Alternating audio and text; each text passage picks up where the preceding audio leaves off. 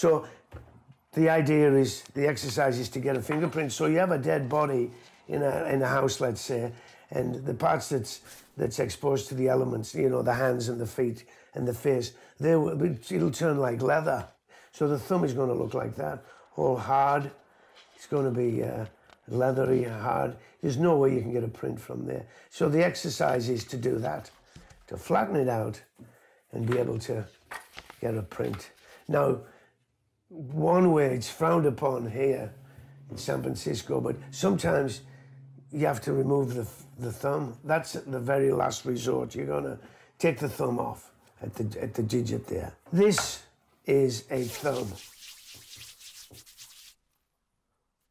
It looks like a thumb. Sure, there's the fingernail swimmer. So there's the thumb, and the thumb is like this. No way that's going to go on a card. So what you do is Real simple. You have a, a container. They used to have these big old crocks back in Vancouver. Put formaldehyde in there. And you put salt. Dab of salt. No pepper, just salt.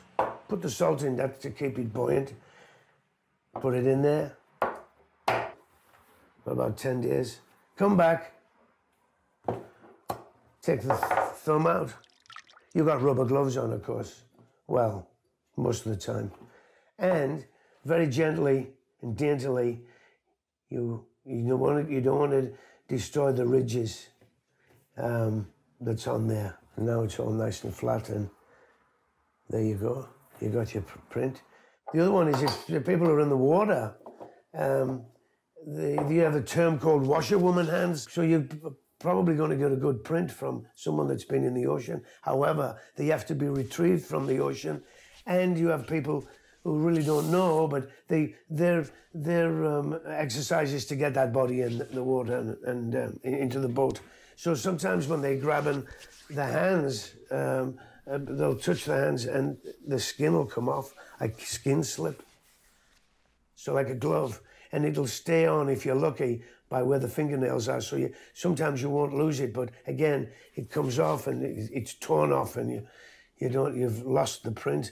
But occasionally you can put it back on, or if it's difficult to put it back on the thumb, you might be left with the skin, just like a glove, and you'll take the piece of the thumb and very gently put it onto your own thumb or put it you know, and then get your print.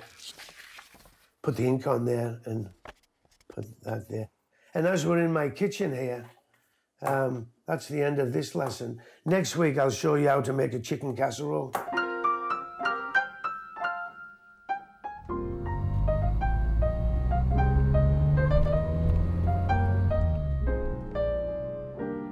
So I was working with Soup in 1987. I was driving a super shuttle van. I think it was seven dollars a ride. I think it's about 107 now, but but it was seven bucks um, for a ride from San Francisco to the airport. But I, I came home one night. I, I made about sixty dollars in in tips, which wasn't bad actually back then. And um, when I went to my mailbox, there was an envelope there, and it had my handwriting on it. Oh, interesting. And it was for an interview at the medical examiner's office in San Francisco. And um, I had I had a history with that game anyway because I'd spent 10 years at the coroner's office in Vancouver. And then in England, uh, I had two years working in a hospital as a porter and then ended up working in the autopsy room, which I hated because I knew half the people coming through. Maybe not personally, but, you know, uh, the guy from across the street or so on and so forth. So um, anyway, I I, I cleaned myself up um, cleaned my teeth, combed my hair, you know, and uh, off I went down to the medical examiner's office for this interview with the pathologist and the office manager and one of the investigators. And the, the pathologist says to me, well, what would make you uh, a good investigator, a good employee with our office? And I told him straight off the bat, I says, well, I have a fondness for babies, dogs, and old people. Not particularly in that order, but, uh, and I, I got the job. That's how it, that's how it happened.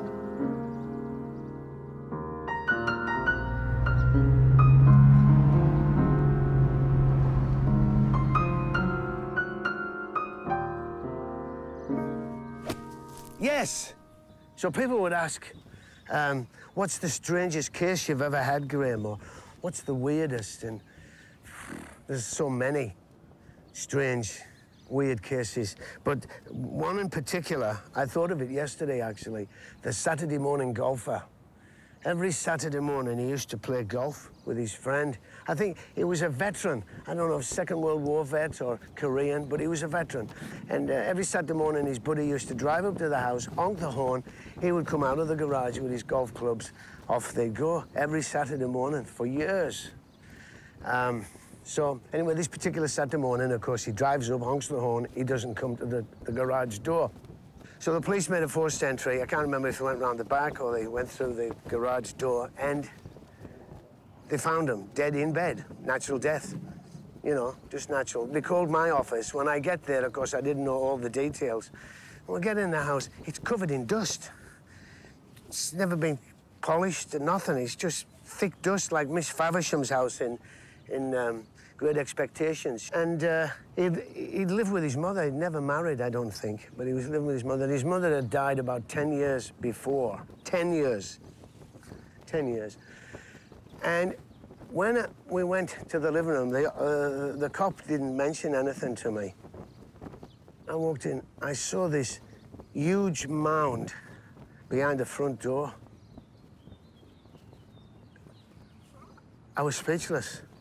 It was huge. It was about this high, halfway up the front door, maybe, maybe even higher, but it was a huge mound. And it'd been defecating behind the front door. Parts of it was rock hard. We, we knew what we were dealing with. This guy had been relieving himself, having bowel movements behind the front door.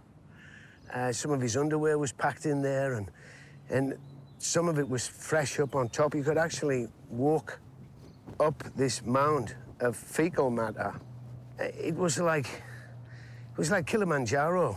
I don't know what was going through his mind, but I, I, he'd probably been doing that since his mother had died 10 years ago. And this was a regular guy, played golf every Saturday morning, well dressed, his friend had said. His friend never went into the house and we, we never mentioned it.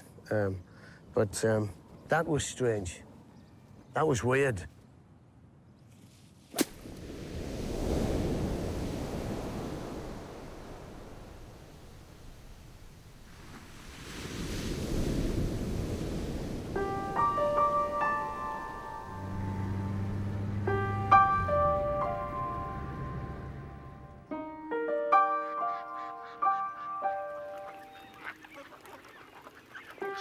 Particular day, um, there was a call. This girl from Taiwan and her boyfriend and a couple of friends were down at uh, Baker Beach, which is near Golden Gate Bridge. And they were waiting, and uh, it's like the old seventh wave, that rogue wave. They, uh, they weren't, apparently they weren't only up to their knees, but the old rogue wave came, swallowed them, and out they went. And uh, they did uh, uh, get uh, the girl, but they never did find the boyfriend. He was washed out to sea. I don't think they ever found him. And of course, the paramedics came, they worked on her, but she had died, but they'd, they'd already, uh, they'd taken her to the emergency room. I, I, can't remember whether it was Mount Zion or, or St. Francis. So finally I got to the emergency room because it was mayhem. It was, it was uh, chaos.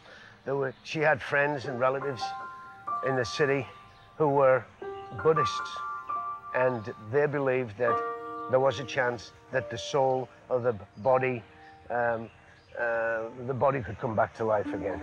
So, but I wasn't about to argue with that because I'd already seen her and she was dead. So we, I was doing all the paperwork, and apparently they'd got the father frantic. They'd contacted him in Taiwan, I believe, and, and he, I spoke to him through an interpreter. When I had agreed to that, I said, okay, we wouldn't put it in the cooler. So we brought her back to the office. The phone went again. It was the father. Would I not leave her alone? Not only would we not put her in the cooler, but would, we didn't we didn't want her to be left alone. So I agreed to that too. I said, okay, I'll, I'll stay with her. So sure enough, it was around midnight. The next crew were coming in. Wanted to know why I wasn't going home. I said, well, I'm going to stay with the body. What? They thought I was crazy, but I'd made that promise. So I spent the night in the viewing room and uh, stayed with her. And each time the tape, they played this tape, chants, Tibetan chants. And every time it ran out, I would turn it over. So he played all night. Um, and I stayed with that, in that, that window so many hours where she may come back to life. They, they, they thought I was crazy, but it's today I promised the guy I gotta, I gotta do it. And the tragic thing was, she had drowned, and she wasn't coming back to life.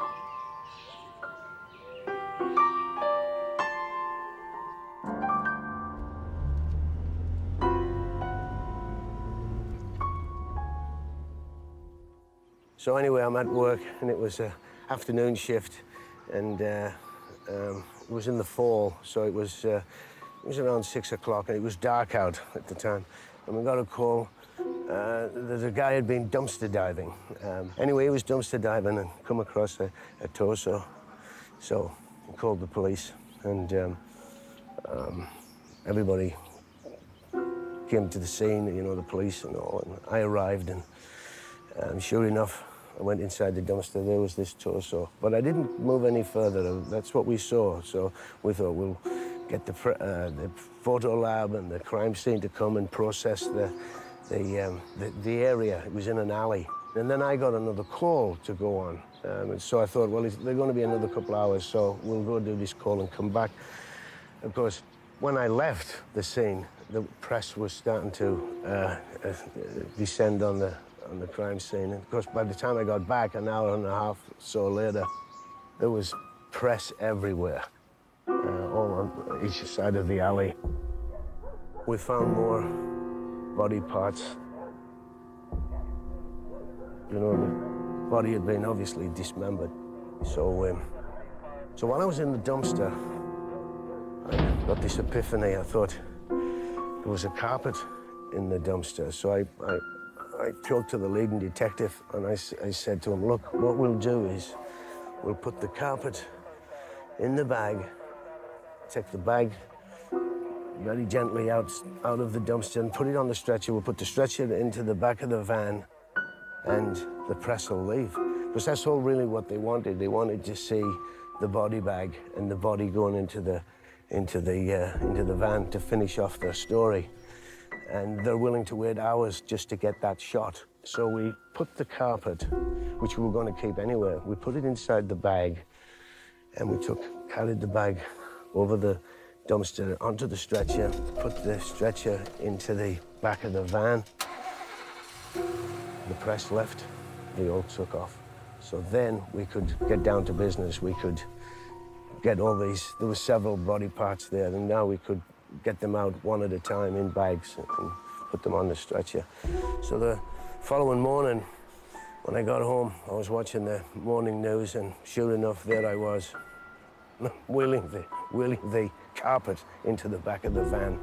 So I dodged the press on that one. I felt pretty good about that. I kind of thought, oh, well, they never got to see the body parts coming out of the dumpster really respect for the dead, you know, really. But uh, I felt good about that.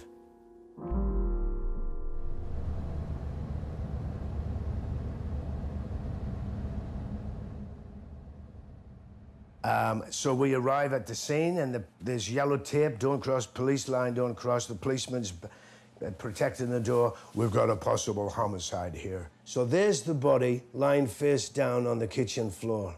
He's dressed in his t-shirt and his underwear, and he's got his socks on. There's black fecal matter around his underwear, black tar-like fecal matter. I can smell urine. I can smell, like I said earlier, the, the cigarette smoke, the, the, the dried blood. Uh, there's blood everywhere. Fingerprints, he's, he's been bleeding. He's been down for two or three days. He's on the turn, he's starting to decompose, and there's a terrible smell of urine. Whoa! And he's stale, and he's wet, and he's slippy. His skin's starting to slip. The urine, um, he's helping with the decomposition.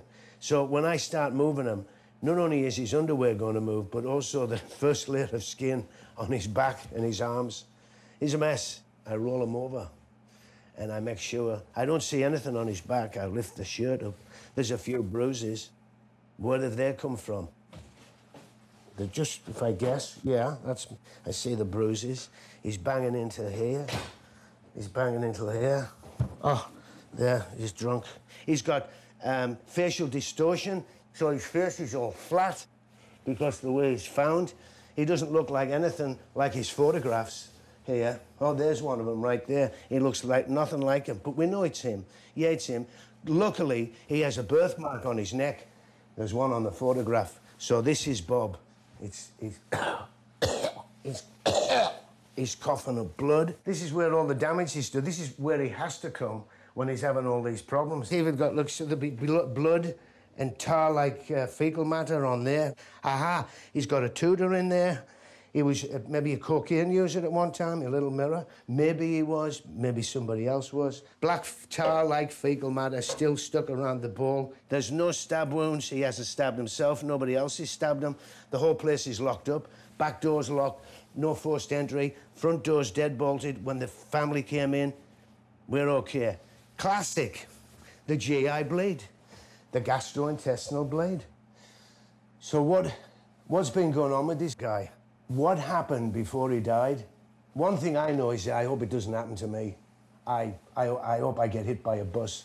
I don't want to go through this. He was depressed, maybe, or he's just a plain old drunk who likes to get pissed up and, uh, and have his fun, and then he, he sobers himself up and he goes to work on Monday, and Fridays he starts drinking. I don't know, but he, he's on a binge, and he's drinking everything in sight. What broke down in the engine? And really, it's the sieve with all this stuff we consume, it goes through the liver. So the liver is destroyed. It's cirrhosis of the liver or hobnailing. And the liver is supposed to be like you see a bit of liver or a, a kidney, nice and soft.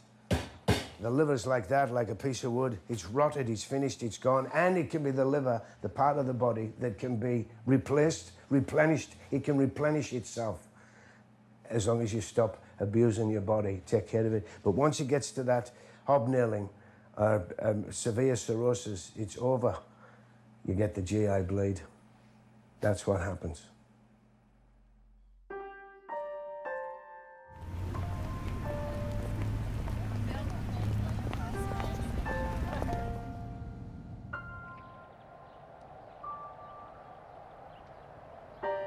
This is the uh, the Holocaust Memorial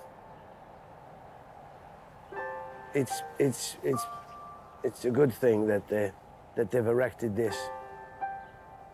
But there's nothing to say about it. You just look at it and have your own thoughts.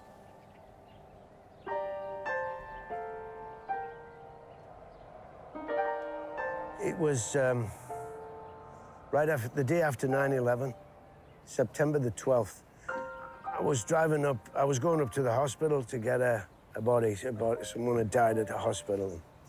And on the way to the hospital, we just came upon, me and my partner, we just came upon an accident. A pedestrian had been, he was crossing the street and a uh, semi-trailer was making the turn, right turn, and ran over him. Anyway, I, I went to help.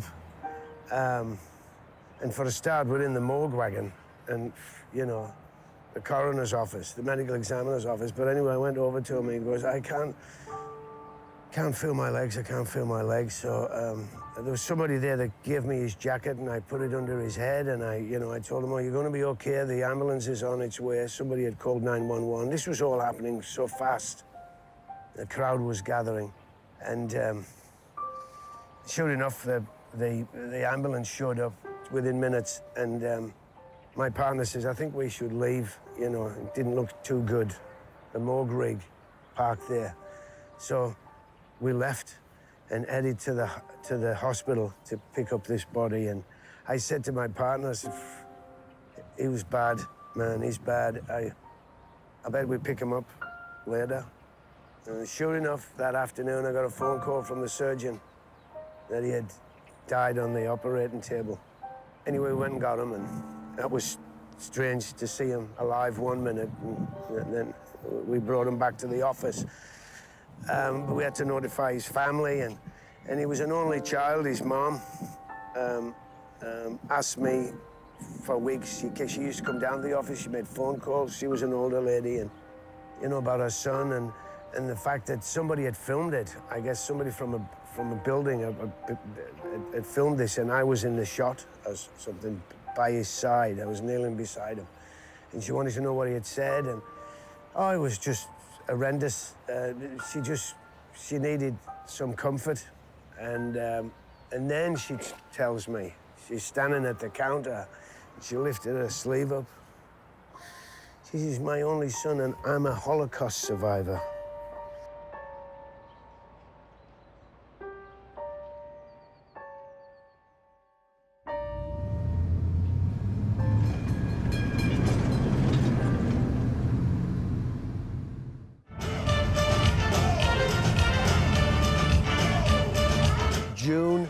1974. Everything was changing. It was great. Got the job at the City Morgue uh, in Vancouver. And uh, after sort of into the, towards winter time, after a couple of months, you know, September, October, I was living there. I actually uh, needed a place to live. Um, so I was living in the basement. So I, and I was never late for work. But all the while, doing that job, it was not going to be permanent. It was just a, a means to an end because it was theatre and acting. That was my dream. That's what all I ever wanted to be was to be an actor. By 75, um, um, I was uh, going down on Hastings Street. There was a place called the Actors Studio, and uh, Molly Bowman. She she had a, a, school there, and she was from the Lee Strasberg, ooh, you know, the New York Theatre. Um, and so while I was there, they got a grant. The Actors Studio got a grant um, uh, from the city and county of Vancouver um, to get this building. They got a, they were going to get this building. They said, "Oh, we're going to move to a fire station. It's the Fire Hall Theatre, and um, right next to the morgue." so there I was, uh, working at the morgue in the afternoons and midnight shift. And during the day, there I was prancing around, dancing and singing and doing everything to become a great actor at the, at the Actors Studio, the Fire Hall Theatre.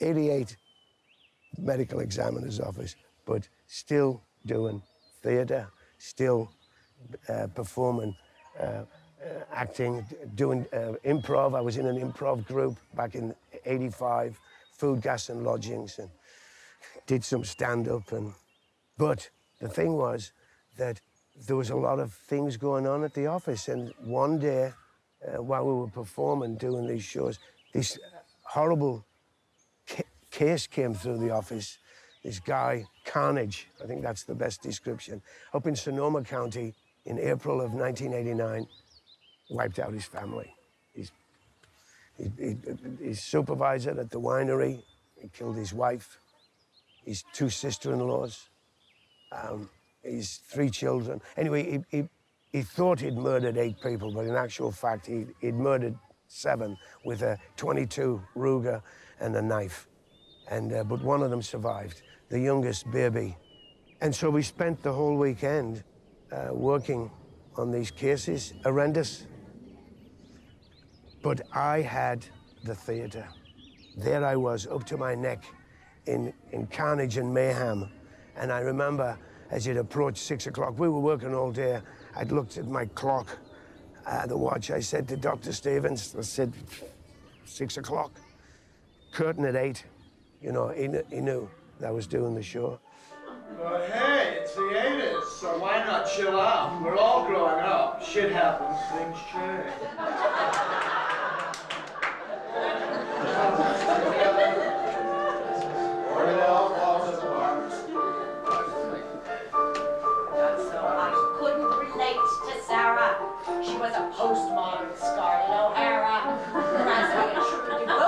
Her career, female invasion. Showed their pads out too. Oh, oh, oh where she going? Oh, the picture gets blurry and there's just no way of knowing. It all comes together.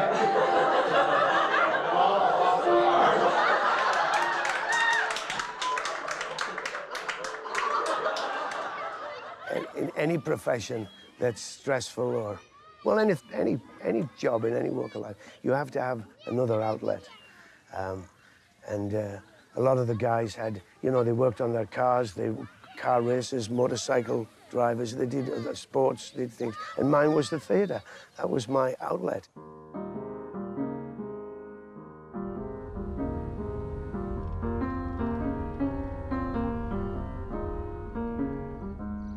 So the guy lives in the Midwest. He's estranged from his sister and mother. And then he decides to make a phone call. He hadn't been in contact with them for a while, you know, months, years. So he called his sister. They were talking, healing wounds, old wounds, family wounds. And uh, he asked about mom, and she said, Oh, mom died. Mom died almost two years ago. She died. I mean, why didn't you tell me? Well, you know, they weren't speaking, and, uh, you know, we're, we're not speaking to each other. He goes, well, well, you should have called me, you know. I mean, anyway, they, they hung the phone up on each other. So a couple of days went by, and he, I guess he thought about it, and so he decided to make a trip to the city, and uh, unannounced, of course, and he came home, knocked on the door. His sister answered the door, and I suppose there was a few exchanges, probably pleasant. They got talking, and he said, Where, "Where's Mom buried? I mean, did you cremate her or did you bury her?" She said, "Oh no, she's still here."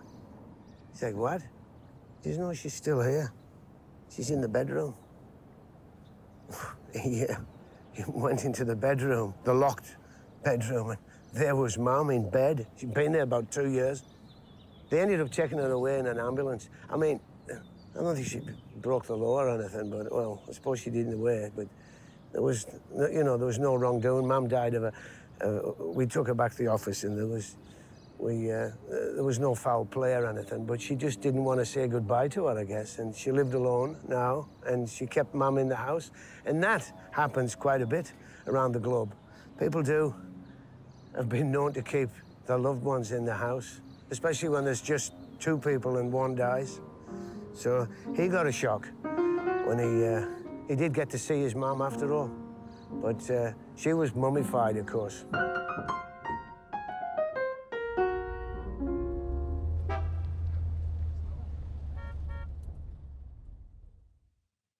So it's summertime, you've got a decomposed body uh, at home. It's a solitary death, obviously. Um, and uh, she's lying dead, Auntie Betty. She's basically rotted. She's rotted um, on the the uh, living room floor. She's um, she's unidentifiable. So she's been there for a month or two in this really hot room. Uh, the facial features have gone. She has grey hair. If I was to move her head, that hair would just slide off the skull. The eyes have gone, um, but the nose has been eaten away. So you're looking at, nearly looking at like a skull with, with dark flesh on. The first part of the body to go is usually the abdomen. Um, you know, this area here, this part of the body is going to go green. Why is that? Because that's where all the bacteria is. That's all the, with the food. And then you get the fly larva, uh, blowflies. They start laying eggs in the eyes and the nose. And it looks like grated cheese. What do flies do? They fly. Um, and it's funny because when we get into the house, this is a dark, dreary home.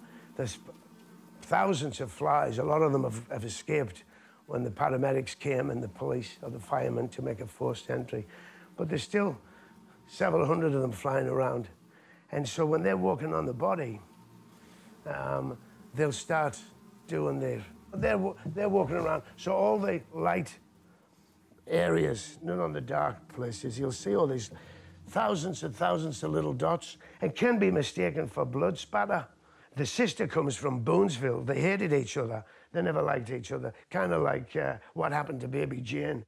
Um, if I wasn't in this wheelchair, but you are, Blanche, you are. Um, so let's say uh, Tallulah comes to visit Auntie Betty, and Auntie Betty kills Tallulah and leaves Tallulah on the floor. Meanwhile, Auntie Betty's back living it up in New York or whatever she is with Tallulah's money. So that's why we have to be careful that it's not Tallulah, that it really is Auntie Betty, uh, because there's no way of knowing because she's so, she's, she's just melted into the carpet. And as luck happened, as we were rolling her in to the bag, aha, the left hand, it's clasped. Uh, which tells me probably maybe she had a heart attack and she clasped that hand, whatever, uh, the, the fingers, and it's been sort of uh, resting under her thigh. It's deep, still deco- it's decomposing with the rest of the body. But um, when I look and I, I open up the fingers, ha, my lucky dear, yeah, she's got the prints. So I have to be protective of that. I'll cover that up with a towel or something, and we'll get her back to the um, to the office, and I can uh, hopefully get that print to say that is Auntie Betty. It's not Tallulah.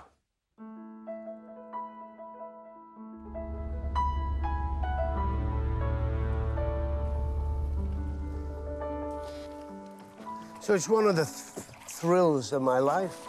I've had a few, not a whole lot, but real thrills. I get to work with Sir Derek Jacobi, the one and only. So I'm to, so I'm to be doing this movie with him, and um, we're staying at Crosby Hall. Crosby Hall is his fancy hotel in the middle of the Lake District, and uh, so we've been on the set all day, and we're coming back in the limousine. My bags are in the trunk, and as we approach the hotel, he goes, um, uh, so it's supper, Graham. I went, yeah, yeah, okay, so I'll meet you in the bar at seven. It's like, so I check into the into my room. I'm like, I'm really, I'm, it's, I, I, I'm, I'm speechless. It's like I'm so excited. I'm going to be actually doing this scene with him. I've done one scene with him. I'm going to be doing a couple more. Anyway, so I take a bath and I get my clean jeans on, clean t-shirt, and uh, I go down into the bar. And there's all these toffee nose gets standing at the bar. They're with their husbands and wives, and they're all there fancy dressed up, uh, rich gets. And I'm sure he knows this, but I go into the bar, I'm a kind of a bit out of my depth, and they're all staring at me, like, what am I doing here? And he could see that from the bar. He was in the bay window of the bar, and he shouted to me, Graham, hello? And I looked, and there he was. And I went over to him, and he asked me what I was wanting to drink. I said, I'll have a pint of beer. So he went up to the bar, he got a pint, he got me my pint of beer, and he had his glass of wine. Because he could see what was happening. But anyway, when I went up to the bar this, this time, they all spoke to me. Oh, hello, hello, hello, how are you? See, they didn't want to know me before.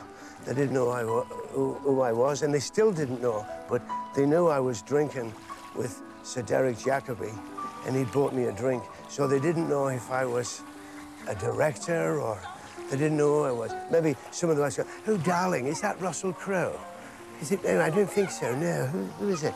You know, because he just finished the movie Gladiator with Russell Crowe. But, but uh, yeah, they, they, they taught me diff they, they, they treated me different when they saw me with Sir Derek. And he was such a great guy, a real gentleman.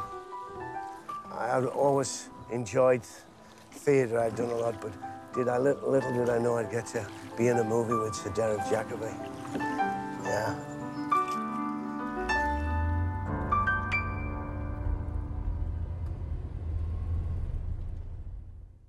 So uh, th- this happened many years ago. I was working in the autopsy room, and uh, I was on day shift. So I, I gets into work about seven thirty, and I go up into the front office to get a cup of coffee, and uh, the two midnight guys are there, and uh, so they look at me and they say, "Have you been in the cooler yet, Cowley?" I said, "No." I said, "I've just come get a cup of coffee." Uh, anyway, I got my coffee and went down to the cooler, and uh, so opened it up, and there's three bodies in there that had come in on the night shift. They had to be autopsied that day, but there was a fourth gurney with a sheet on it, partially covering it. Pulls the sheet off. Strange. There's a willow pattern plate there, right in the middle of the, the gurney, with a uh, testicle and. Uh, oh. Hello. Yes. Hey, how you doing?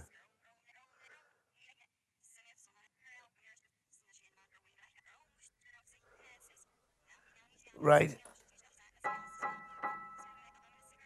Right.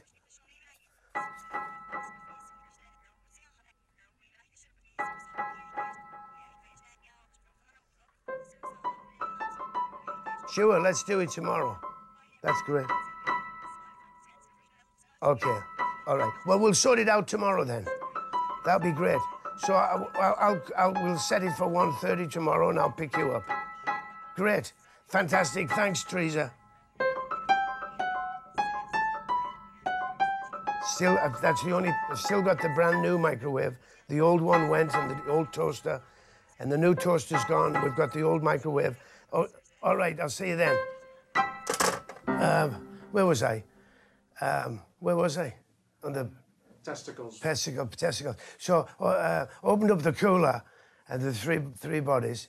Uh, oh, and then there was the gurney where I pulled the sheet back with the willow pattern plate with penis and testicles on it.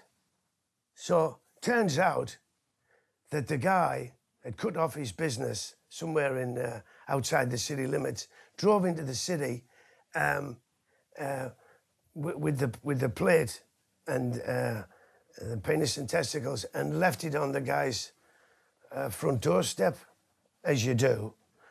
Then caught a bus and went down to the ocean, threw himself in the ocean. So he washes up the next day. And of course, we knew who he, wa- who he was because we, we didn't need to do any fingerprints or any uh, dental uh, x rays because everything fit together. So that was that. Yeah.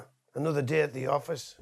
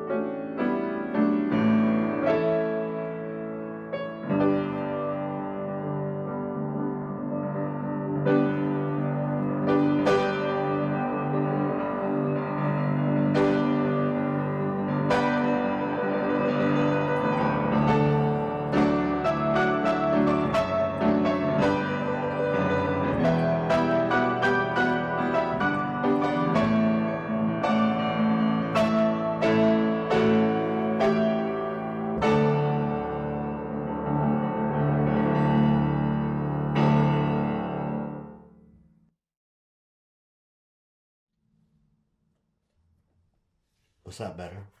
Yeah.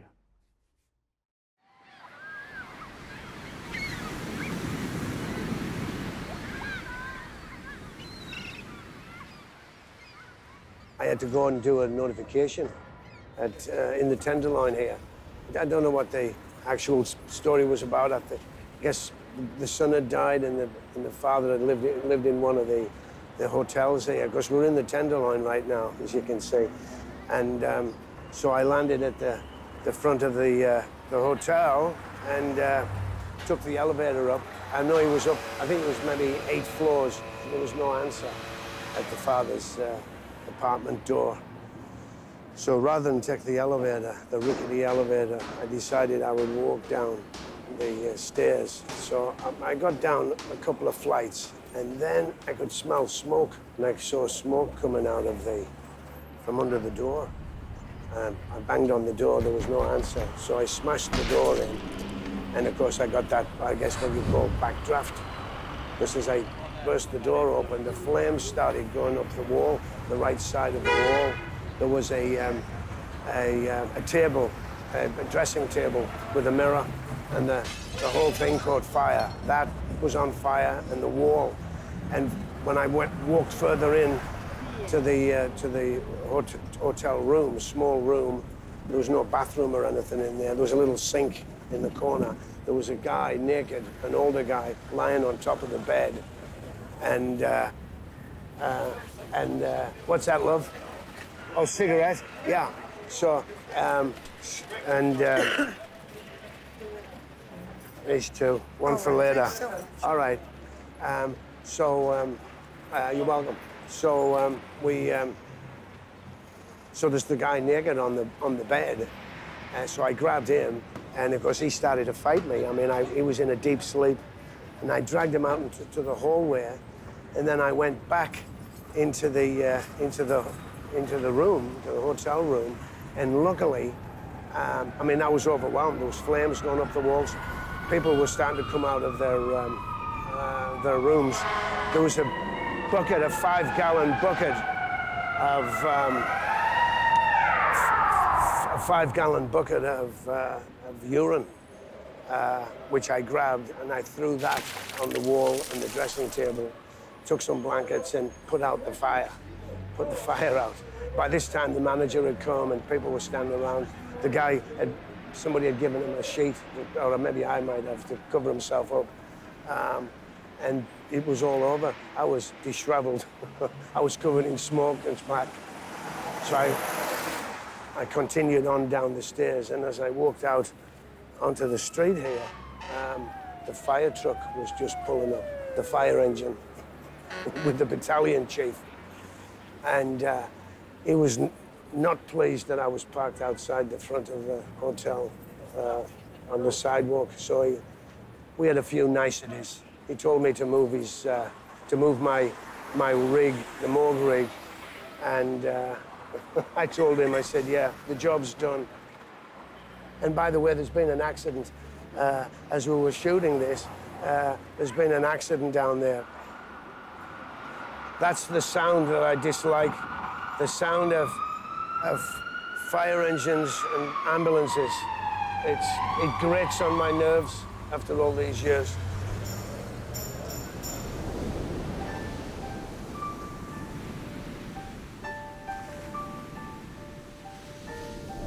So, um, after I got my master's degree in dishwashing in Chinatown, you know, I went from small dishes into the big pans. I mean, I was, I was a great dishwasher. I did it for a whole year. Um, I decided to move on. Then the money ran out, and uh, I ended up uh, on the street. Um, I was homeless.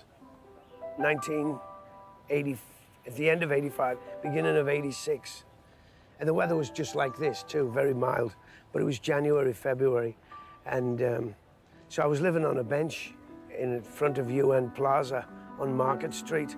In fact, the benches now, they've put, you could stretch right out on the bench.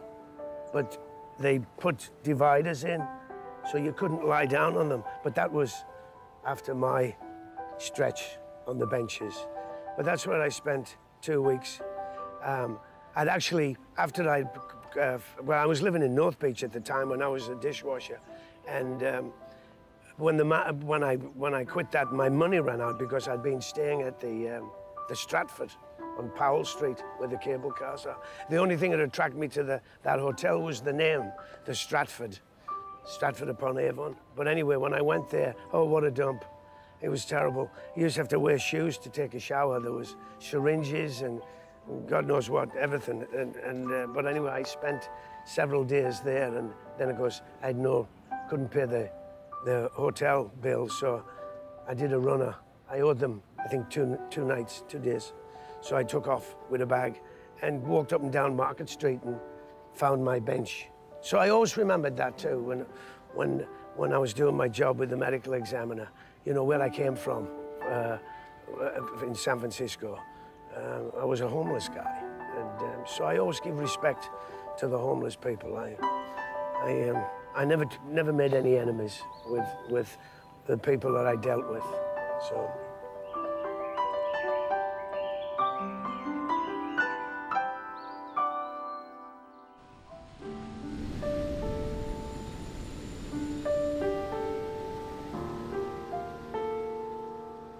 Anyway, I was working the day shift, and we get a call from the sheriff's office, which was unusual, really, because they never called us unless it was a death in the jail or something. Then we got calls from them. So anyway, gets a call from the sheriff's office that apparently um, he'd gone to, a, to the house, this house in the Mission District, to evict a guy, victim from his house. So anyway, so we, we gets over to the scene, and the sheriff's there, and the reporting police officer. And uh, so they let us into the house. Now, I always remember walking down these stairs. It was a beautiful big home, two-story, but he had a, a basement. We went down these stone steps to this really nice uh, den, you know, TV set and stuff. It was sparse, but nice sound system and, and his TV. And uh, he's sitting there in his armchair uh, with a plastic bag over his head. He's dressed in his pajamas and a, um, and a, and a, um, uh, a robe. And he's got, so he's got the bag over his head, and he, at the side table he's got some few pills, uh, some Valium, I think it was, and some other brand of medication, and a half tumbler of water.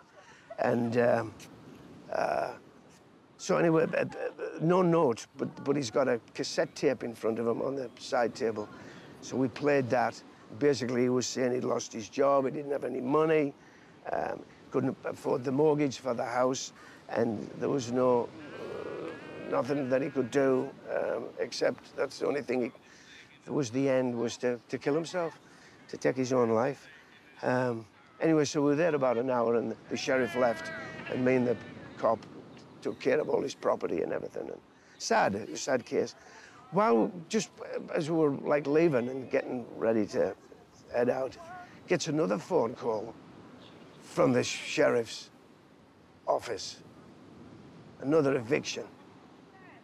It's like, so anyway, so we've got this guy in the rig and we drive to, to the Mount Davidson area and we go to this nice alcove, this ranch style home. And the guy there had, had hung himself and he didn't own the property, he was renting it. But he too was being evicted. Um, and I, I, noticed on the door I was, I was entering, there was the eviction notice. They put that up there um, on the door.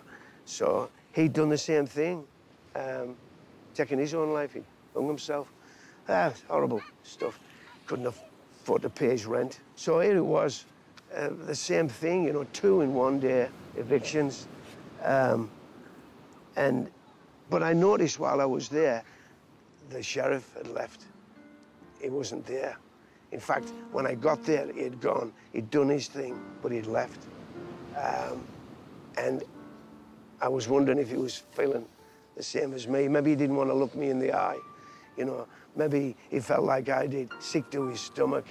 So anyway, it was still a beautiful day in the neighborhood. And uh, on my way home, I thought, ah, I'm not going home. I went and got a six-pack, and I come down here, sat on the beach, drank a few beers, watched the sunset. And while I was doing that, I was thinking about the sheriff. I was thinking, I wonder what he's doing right now. I wonder how he feels.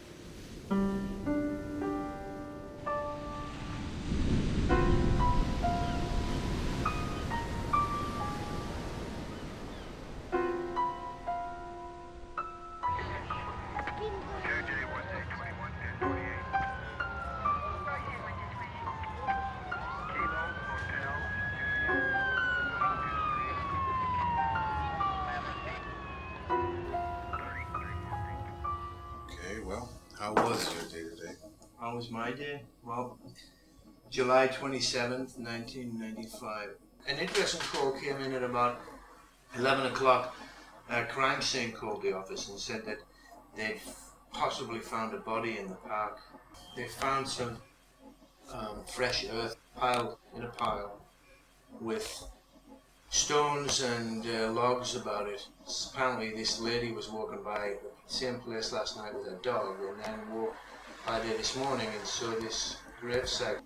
So they had about 15 or 16 people. They had crime scene photographers, uh, a bunch of cops did the whole place taped off.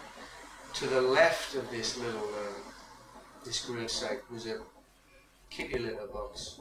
Well, no, let's just dig. But there's no, well, there's a footprint on this pile of dirt. So they, they lifted off a footprint and then they started to dig. And lo and behold, after a quick yank of this loose soil, we brought out this box. Still thinking maybe, oh, God forbid, it may have been a baby or something. And um, so we, sure enough, there it was. We found a cat. So at the price of about uh, five thousand dollars for that For that investigation, we discovered a cat. So the moral of the story is save all your videotapes to see how good you look 20 years ago. yeah.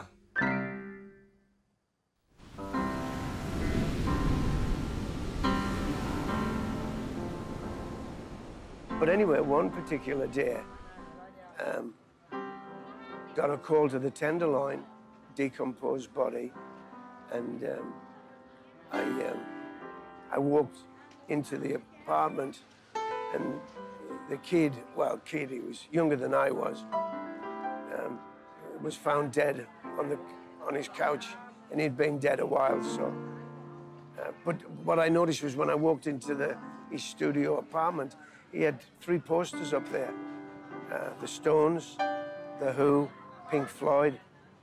Strange. I had uh, three concerts that I'd been to while living in this city. And it turns out that the kid who I didn't recognize, when we got to his wallet, I recognized um, who he was. Um, and the thing was that when I first met him, he'd never been to a rock concert before. I'd been to hundreds, especially living in Vancouver, um, in England. Saw a lot of my favorite rock bands. But anyway, I, I had a spare ticket for the Steel Wheels concert, the Rolling Stones concert over in Oakland, not long after the earthquake. So I, I had the spare ticket, so he came along, and uh, it was great because uh, in- instead of enjoying the Stones, which I did anyway, but I got a bigger kick out of him seeing the Stones uh, for the first time, seeing it, being to a rock concert for the first time.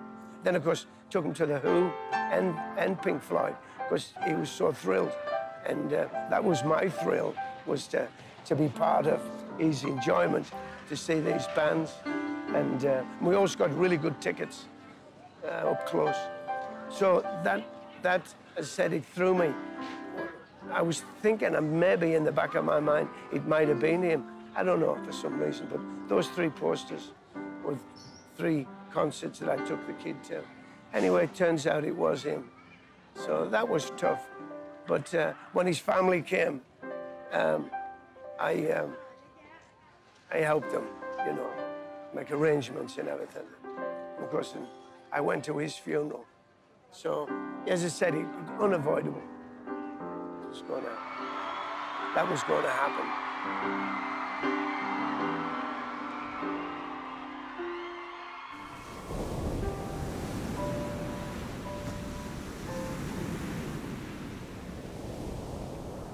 Here we are at the um, AIDS Memorial in uh, Golden Gate Park, San Francisco.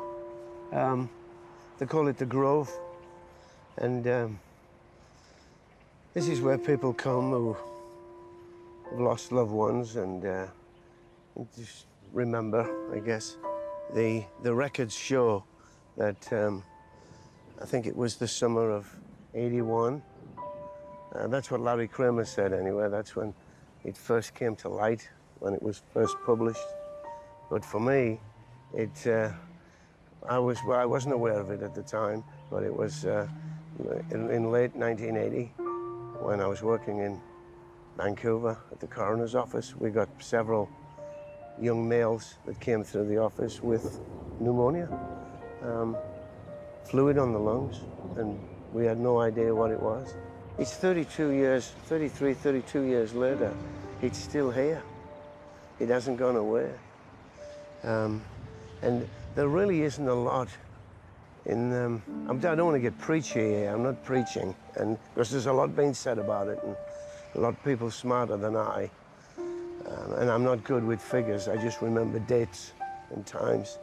But um, you don't hear about it, it's, it's been swept under the rug.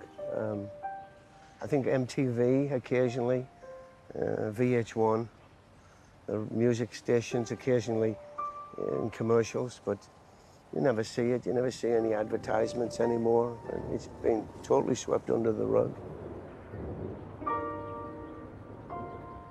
So uh, right now, uh, 2013, there's, um, according to the newspaper, there's about 35,000 people in San Francisco that's um, has HIV and AIDS, but they're not dying uh, like they did 20 years ago. But I never, uh, it never crossed my mind looking back. Um, sure, I was aware we were in the middle of a, an epidemic, um, but I'd survived uh, the, the Vancouver office. Um, and uh, so I never actually thought about it. But when I started working, when I got, uh, I started off in the autopsy room as a technician, helping the pathologist to do autopsies. Oh, my lord, they were coming in in droves, plethoras. My God, there was a lot of um, AIDS cases that came um, through the office, just day after day after day. Um, young men looking like old men, you know, wasting syndrome. Because I think of all the um, all the caseworkers and um, um, the nurses and and some of those people um, um, the uh, city employees throughout the globe, um, not just San Francisco, got infected uh, for some reason or another by uh, a scalpel or, um, or a syringe. They stuck themselves and, and got sick and died. And a lot of people that lived in the city were, um, because they were gay, they were, they were, they'd fallen out. You know, it wasn't as like it is today, but they'd been um, um, blacklisted or thrown aside because they'd come out to their family or friends. And so they moved from wherever they lived in America and came here where they were welcome. And, um, um, and so when they died, we had, sometimes we had a tough time trying to notify family. So we'd have to bring these cases, although they died from, from um, they eventually called it natural process. We had to come up with some term natural process, but uh, wasting syndrome. But it was the AIDS, they died from AIDS. By the way, I'm sitting on this rock. Huh? I've got to say, and look, um, Sylvester, he was a performer in uh, San Francisco. I don't think he'll mind me sitting here in loving memory of Sylvester. You make me feel. That was his, um, that was his signa signature tune. Sylvester. He was a character. I actually got to see him live. He was a great dancer and singer.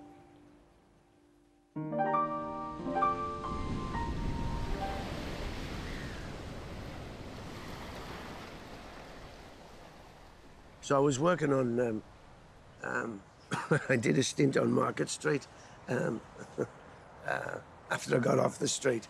Dr. Whitland, Marvin Whitland. I was working at his. Uh, he was an optometrist, so I was working on Market Street.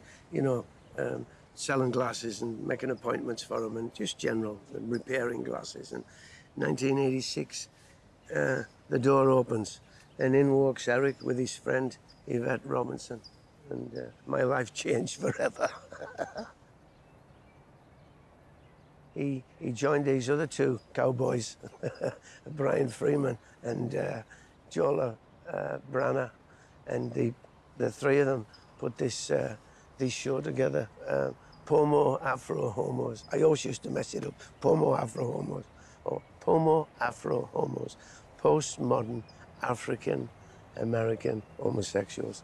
That was 1991. So you can imagine uh, um, these three guys traveling around the country and Europe. They did all these these uh, these shows, and it was so popular. They started off at Josie's on Market Street. People were lining up around the block, and of course Eric was was uh, out of the closet, of course, um, about hundred miles outside the closet, and I was in the closet about hundred miles. Um, you know, it was the relationship that wouldn't work. We had nothing in common. Another thing, music. He was listening to hip hop and gospel. I was listening to the Stones, rock and roll. You know, um, and uh, but we had we had theatre. The theatre we had in common. But uh, yeah, the relationship that wouldn't work, and uh, we were together right up 16 years. So well, actually, it was nearly almost 18, but 16 years we lived together. What happened to me was uh, death came to my door. You know, uh, Eric um, was diagnosed in um, 1989 when we were doing a show together down at the Chi Chi Club in uh, North Beach in uh, San Francisco. Uh, Ken Vega show, Cafe Depresso, and we ra- ran that show for two to three years, on and off. And it was the earthquake that um, put the cag, cag wash on that. We we stopped. Was eight, but that, that's when Eric told me in '89, and uh, he was concerned that uh, I was going to leave him. But uh, I said, no. I mean, why, why, why would I do that? I really loved him. It was, it was the the best years of my life. Um, but he, um, from '89, he handled it with the medications, and then 1998 was the first time he really got sick. He bounced back, and um, uh, then he and we did a lot of traveling. And then in 2002, he got sick again, bounced back. You know, everything comes in threes. But of course, uh, on his birthday, uh, March 8th, um, uh, 2003, got sick, ended up in the hospital, uh, dealt with that, you know. And uh, but after the funeral and everybody's gone, I um, I started to fall apart. Um, I lost my mind. Is maybe a better way to explain it. I um, I lost my mind. I uh, I did everything wrong. I uh, I wanted to deal with it on my own, um, which was a mistake. Yeah, you you grieve on your own. I think This- that's what you have to do. You that you can't. That, that has to be done alone. But just getting through life every day, you've got to have your friends and your neighbors and your family around you. And I, uh, that was my mistake. No, I'm I'm going to deal with this on my own. And that's when I fell apart. But um, here I am talking, gab gab gab. Um, so uh, anyway, um, Eric, uh, I'll explain that to you. And he did this piece. He he wrote it and directed it, and uh, Patrick Scully uh, produced it. So anyway, here's this piece that he did in uh, 1998 about living with AIDS, and uh, so see what you think. I, I don't know if it, it should be any different.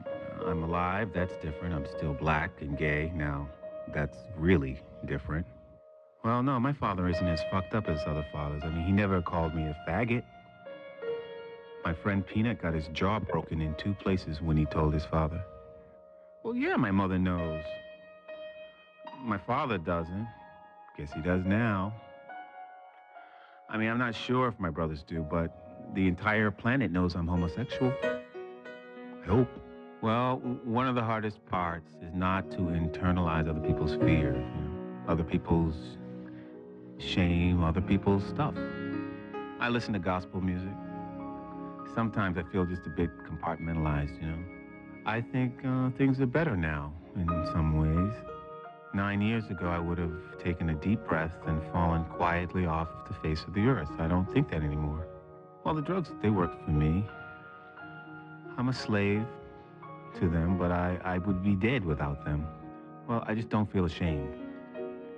I can talk to other gay men and trade survival stories, you know, regain my sex mostly, and I can get on living. Well, a lot of the guys think the disease is gone. They just think it's gone.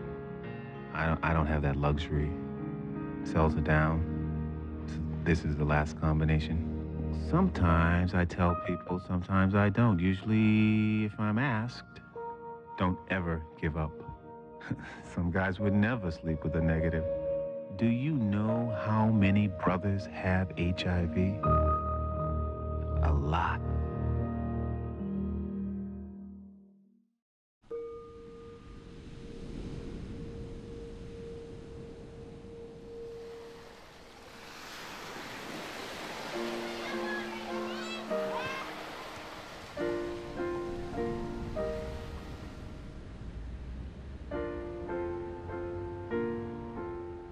We are down in the mission, what I was talking about earlier, about this painting.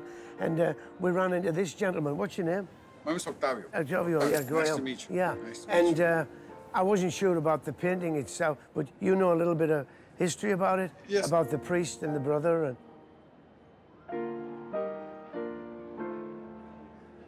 I know this was done in memory of uh, uh, Father Richard. Uh, it was done by Laura, and uh, this is the front of the house, the Victorian. This is the dog Plumita, uh, which is known throughout the uh, neighborhood. What he did is uh, the last thing that I, uh, last project that he worked on was that he took terminally ill people and he basically counseled them and gave them comfort. Uh, uh, to the end of days. Right. So uh, he- he's well known in, in, in the community, respected. Uh, And, and he, he passed away too. he passed away, When- yes. When was that? uh, this is about a year ago. oh, really? Oh, that, A year, a year ago, yes. So yes, uh, as far as I can remember, this goes. Uh, Father Richard, uh, with his charity work, uh, he goes back all the way to 1982. As far as I can remember. Right, so that was at the crisis yes. of the time, yeah. apparently you can see the tree where uh, how he branched out and, and fruited out and helped people and then he, the, the earth claimed him and again there's regrowth it's basically a cycle a never-ending story which is, is it, i think it, it's for everybody to decide and decipher what, what, what is the meaning uh, everybody can put their own story together Right, yeah. But that's how he got to San Francisco because his brother was living here and, and, and, and had AIDS, I believe. Yes. And then the, the father came up to, to take care of his brother, and his brother passed on. And then the father decided to start this this non-profit, uh, like a hospice. A hospice, It was a yes, hospice. hospice, palliative care. Right. It- it- basically, they're going to keep giving back to the to, to Right, to the community. Commu- It says there, what, in loving memory, Father Richard Purcell, right. love and compassion, Amor y compasión. Amor de cap- cap- compasión. That's to say my name's on it. I mean, there's my, uh, right here. Okay. Yeah, I put my Oh, name. That's me. Uh, a friend of mine from work, he, um, he, he gave money to the, to this, to the martyrs Right, place. right, okay, he was so- a, so the, the artist said, you know, to give donate, and he, do you want anybody's name to go on? So it was uh, me and my uh, partner who died. He died of, of AIDS in uh, 2003.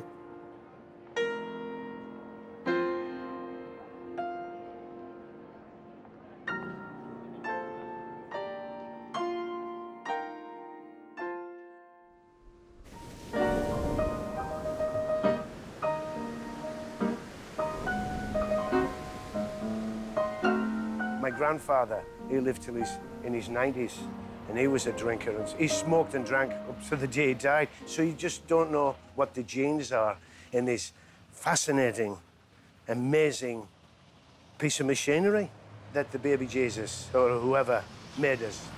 I think I came, I was a tadpole. I, I came out of a pool of water, my fins turned into arms, legs, um, and I can sing and dance. And occasionally it falls down, you know, it, fa- it falls apart. But yeah, it is an amazing piece of machinery. It really is. It's fascinating. And I've seen every corner and angle of it. And do you know how lucky I am to have to, to seen the human body? There's nothing better. Human bodies are great. They're your friends, they're your families. They help you move. You know, they loan you money. They take you in off the street. They, they take care of you. You know, it's great. The human body is an amazing thing. You fall in love with it. You can sleep next to it. Um, but we do all these things to it. I've had my moments too of loss and dying, and, and we're, we're all going to get it. Nobody goes through life without losing a loved one. And I, my job was to try and make it as easy for the family with respect that I, that I could, you know. That's what I, that was my job. I, I was a representative for the city and county of San Francisco. People never forget you. You, you, people, families are at the lowest ebb. They're, they're in pain. You, you have to try and help them to get through the initial shock. I mean, they're going to have their grieving after you've gone and you've driven off with their loved one. But I was lucky and honored to be able to be part of that, to help people. I, I, I hope people, I was good and kind to people when I was at their houses, invading their, their space, uh, coming into their, into their private moments when they lost someone they care for, uh, that I did it right. And I did a good investigation, and I, and I think I did. I think I, I did a good job. Yeah. And that's the way it is.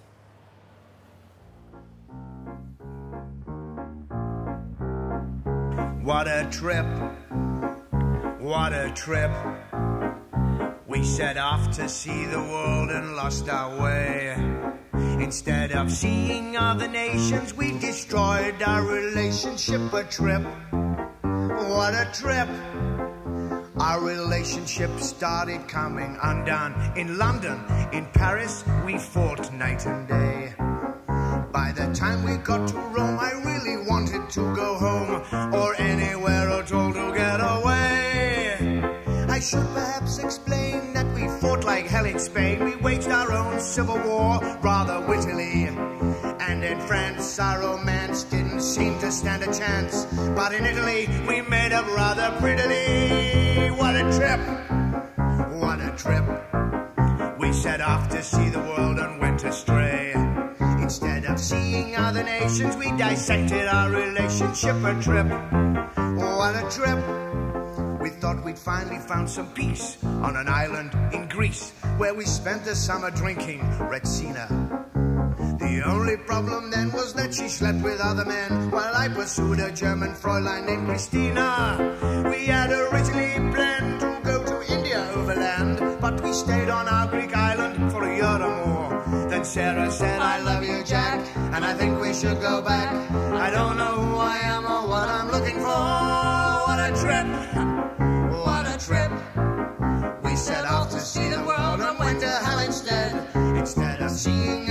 nations, we demolished our relationship. A trip, what a trip, a real bummer.